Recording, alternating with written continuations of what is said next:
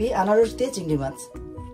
এইটা রান্না করার জন্য আমি যেটা নিয়েছি, হাফ কেজি পরিমাণে টাইগার শ্রিম একটু বড় সাইজের চিংড়ি আমি নিয়েছি। আপনাদের পছন্দ অনুযায়ী যে কোনো চিংড়ি আপনারা নিতে পারেন, সেটা ছোট হলেও কোনো সমস্যা নেই, মাঝারি, বড় সব সবগুলোই রান্না করা যাবে এই একই রেসিপিতে। রান্নার দশ মিনিট আগে চিংড়িটাকে আমি সয়া সস, গোলমরিচের গুঁড়া, সামান্য টেস্টিং সল্ট এবং লবণ দিয়ে মেখে রেখেছি। আর আমি কেটে নিয়েছি অর্ধেকটা আনারস। কিউব কিউব করে। এই দুটোই হচ্ছে আমার মূল উপাদান, যেটা ব্যবহার করে আমি রান্না করব আনারস চিংড়ি। এর সাথে আমার অল্প কিছু মশলা প্রয়োজন হবে, যেটা আমি এখন দেখিয়ে দিচ্ছি। এই আনারস চিংড়িটা রান্না করার জন্য যে যে উপাদানগুলো আমার প্রয়োজন, সেগুলো হচ্ছে একটা বড় পেঁয়াজ আমি এখানে কুচি কুচি করে কেটে নিয়েছি। আর এখানে আমি নিয়েছি সবুজ রঙের বেল পেপার, যেটাকে ক্যাপসিকামও বলি আমরা। সেটার হাফ এবং সুইট পয়েন্টেড পেপার। যেটা হচ্ছে এটা। এটা আমি অর্ধেক পরিমাণে নিয়েছি। দুটোর অর্ধেক করে আমি এখানে কুচি করে কেটে নিয়েছি। মিক্সড কালারের বেল পেপার আমার হাতের কাছে ছিল বলে আমি এটা ব্যবহার করছি। যদি এটা না থাকে একান্তই, তবে যে কোনোটা ব্যবহার করলেই হবে। শুধুমাত্র সবুজ ক্যাপসিকাম ব্যবহার করলেও দেখতে খারাপ লাগবে না। আমি অবশ্য রঙিন একটা ভাব বোঝানোর জন্যই দুটাকে মিক্স করে নিয়েছি।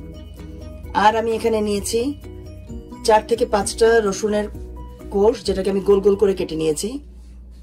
ছয় থেকে সাতটা কাঁচামরিচ, এখানে আমি লাল এবং সবুজ রঙের কাঁচামরিচ ফালি ফালি করে কেটে নিয়েছি। আর এখানে নিয়েছি হাফ কাপের মতো গ্রিন অনিয়ন কুচি করে আর এক টেবিল চামচ পুদিনা পাতা কুচি। এই হচ্ছে আমার উপাদান। আর লাগবে কিছু সস, সেটাও আমি দেখিয়ে দিচ্ছি। সবগুলো সস এক টেবিল চামচ করে আমি একটি বাটিতে মিশিয়ে নিয়েছি এবং এর সাথে আমি আরও হাফ টেবিল চামচ গোলমরিচ যোগ করেছি। চুলায় প্যান দিয়ে আমি তিন টেবিল চামচের মতো তেল দিয়ে দিয়েছি। একটু আগে বলে নেই যে পুরো রান্নাটাই কিন্তু করতে হবে মিডিয়াম হাই হিটে।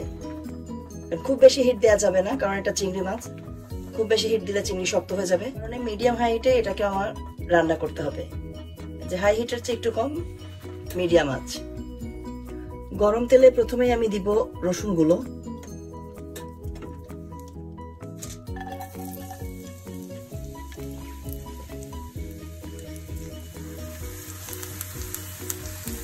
মোটামুটি লাল হয়ে গেছে। এখন দিয়ে দিব আমি কিছু পেঁয়াজ কুচি। পেঁয়াজটাও হালকা ভেজে নিব। যতক্ষণ পর্যন্ত না পেঁয়াজটা একটু নরম হয়ে আসে। পেঁয়াজটা কিন্তু মোটামুটি নরম হয়ে এসেছে। আমি প্রথমেই আনারসটা আগে দিয়ে দিব। কারণ চিংড়ি মাছটা হচ্ছে খুব দ্রুত সিদ্ধ হয়ে যায়। এই জন্য চিংড়ি মাছ এখন দিব না। আমি আনারসটা আগে পেঁয়াজ পেঁয়াজের সাথে দিয়ে দিচ্ছি।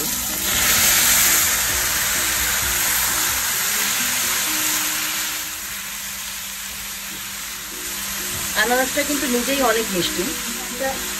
ক্যারামেলাইজড টেস্ট কিন্তু এর মধ্যে চলে আসবে সেই আনারসের নিজস্ব মিষ্টতা থেকে। আমি এখন ব্যবহার করছি পরিমাণ মতো লবণ।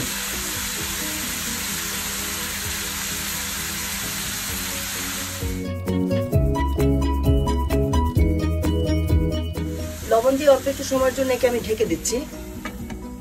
এই ঢাকনাটা শুধুমাত্র আনারস থেকে রসটা বের হয়ে আসার জন্য। এর নিজস্ব একটা রস এমনি আছে। আর আমি লবণ দিয়েছি যে কারণে এটার ভিতর থেকে আরও পানিও বের হয়ে আসবে। পুরোটা বের হয়ে আসার জন্যই আমি এই ঢাকনা দিয়ে কিছুক্ষণ অপেক্ষা করছি। মিনিট খানেক অপেক্ষা করে আমি ঢাকনাটা উঠিয়ে নিচ্ছি। কারণ এটা আসলে এমন সব উপাদান দিয়ে তৈরি যেটা খুব বেশি কিন্তু কষিয়ে কষিয়ে রান্নার কিছু নেই। খুব দ্রুতই এটা হয়ে যাবে। জাস্ট পনেরো থেকে বিশ মিনিট টোটাল রেসিপিটা তৈরি হওয়ার জন্য প্রয়োজন। এখন আমি এটাকে হালকা একটু উল্টে পাল্টে দিচ্ছি। আমি কিন্তু দেখতে পাচ্ছি যে আনারস থেকে যে হালকা যে রসটা বেরিয়ে এসেছে। পেঁয়াজটার সাথে খুব ভালো মতো একে আমি মিশিয়ে নিচ্ছি। এখন আমি দিয়ে দিব কেটে রাখা বেল পেপারগুলো আর দিয়ে দিব পেঁয়াজের যে কুচিটা আমি তখন রেখে দিয়েছি।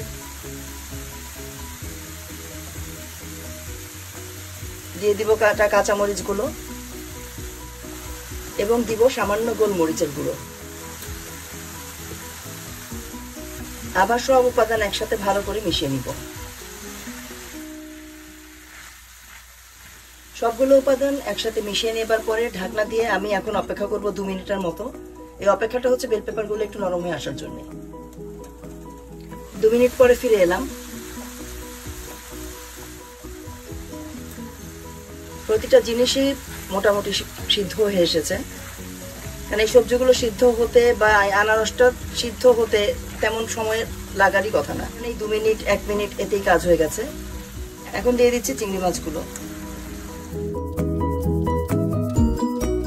চিংড়ি মাছটা নেড়ে চেড়ে দিয়ে আমি অপেক্ষা করছি কিছুক্ষণ। শুধুমাত্র এই অপেক্ষাটা চিংড়ি মাছের রংটা পরিবর্তন হয়ে আসা পর্যন্ত। এটা যখন গোলাপি হয়ে যাবে, আমি তখনই কিন্তু বুঝে যাব যে রান্নাটা হয়ে গেছে। আর চিংড়ি খুব বেশি রান্নার প্রয়োজন হয় না। আর খুব বেশি যদি আমি একে কষিয়ে কষিয়ে বা অনেক সময় নিয়ে তাপে রান্না করতে থাকি, চিংড়ি কিন্তু শক্ত হয়ে যাবে। ওই স্পঞ্জি চিংড়িটা খেতে কিন্তু ভালো লাগবে না। এটা খুব বেশি হাই হিটেও কিন্তু রান্না করা যায় না। মিডিয়াম হাই হিটের কথা আমি এই কারণেই বলেছি কিন্তু যেন চিংড়িটা শক্ত না হয়ে যায়। অপেক্ষা করি চিংড়িটার কালার পরিবর্তন হওয়া পর্যন্ত। মাঝখানে সামান্য একটু শুধু নেড়ে দেবো।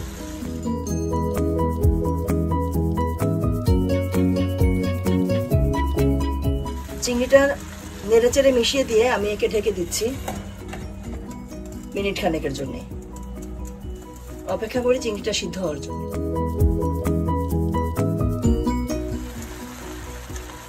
খুব ভালো মতোই কিন্তু সব কিছু থেকে পানি বের হয়েছে। এবং এই পানিটা দিয়ে এটা এগুলো সিদ্ধ হয়ে গেছে। কারণ চিংড়ি কিন্তু রং পরিবর্তন হয়ে গেছে। এটা গোলাপি হয়ে গেছে। আর বেশিক্ষণ তাহলে একে আমি চুলায় রাখব না।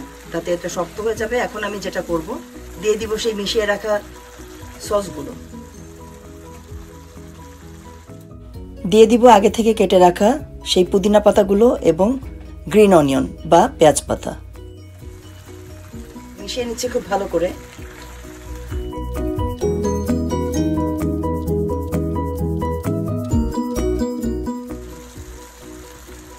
তো এখন চুলাটা বন্ধ করে দিচ্ছি। আমার আনারস চিংড়ি এখন পরিবেশনের জন্য রেডি একে এখন পরিবেশন পাত্রে আমি ঢেলে নেব।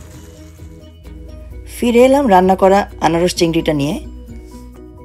আর সাজানোর জন্য ব্যবহার করেছি তেমন কিছুই না। সেই পুদিনা পাতায় একটা ডাল আমি পাশে রেখেছি। এটা পোলাও দিয়ে খেতে সবচেয়ে বেশি মজা। বাচ্চাদের ভোট অবশ্যই এটা। তবে হয়তো গরম গরম ভাত দিয়েও ভালো লাগবে কারও কারও। খুবই কম সময় পনেরো থেকে বিশ মিনিটেই তৈরি হয়ে যাবে। যদি হাতের কাছে সবগুলো উপকরণ আপনার গোছানো থাকে। আর উপকরণ গুছিয়ে নিয়ে পুরো রান্নাটি শেষ করতে তিরিশ থেকে চল্লিশ মিনিটের বেশি কিন্তু লাগবে না। তাই চট করে যদি আপনি কোনো আইটেম পোলাও বা ভাতের সাথে খাবার জন্য তৈরি করতে চান, আমার মনে হয় এই- এই আনারস চিংড়িটি আপনি অবশ্যই করে দেখতে পারেন। ধন্যবাদ সবাইকে, ধন্যবাদ আমার সাথে থাকার জন্য।